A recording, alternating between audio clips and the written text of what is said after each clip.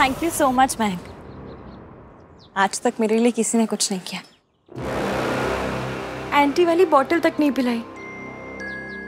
और आज इतना बड़ा सरप्राइज़ मिल गया। म, मैंने कुछ नहीं किया जो कि हाँ ने किया। है? हाँ हाँ। प, पर ये ये जूते का आइडिया तो आपका था ना? और ये आइडिया मेन आइडिया था। उसके लिए थैंक यू पता है मुझे ना हील से चिड़ मचती है। आपने ये जूते भेज के मैंने ये नहीं भेजे हैं इश्की। तुम ये क्या खागरे के साथ कैट्स डाल के घूम रही it looks so horrible Mayank बेटा। हाँ माँ। इधर आओ।